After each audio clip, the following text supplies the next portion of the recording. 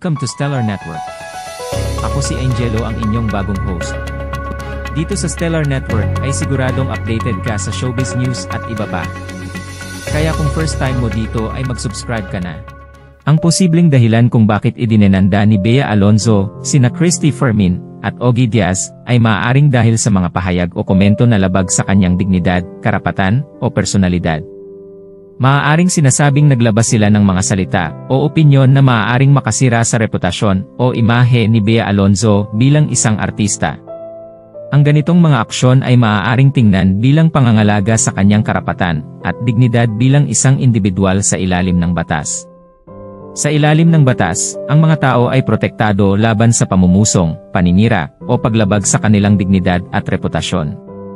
Kung mayroong mga pahayag o gawain na maaaring ikapahamak ng isang tao, maaari niyang ipaglaban ang kanyang karapatan sa pamamagitan ng legal na aksyon, tulad ng pagsasampa ng kaso. Mahalaga rin na suriin ang konteksto ng mga pahayag o gawain na nagdulot sa pagdedemanda upang maunawaan ang kabuang sitwasyon. Ang legal na proseso ay magsisiguro na ang lahat ng partido ay magkaroon ng pagkakataon na ipagtanggol ang kanilang panig at mapanagot ang mga may sala kung kinakailangan. Sa sitwasyon na ito, kung si Bea Alonzo ay nanghihingi ng damages bilang kabayaran para sa mga defamatory statements na inilabas ni na Christy Fermin at Ogie Diaz, maaring ituring na parte ng legal na proseso upang mabawi ang anumang pinsalang idinulot sa kanya. Ang paghingi ng damages ay isang karaniwang hakbang sa mga kaso ng defamasyon upang mapanagot ang mga taong naglabas ng masasakit na pahayag o komento.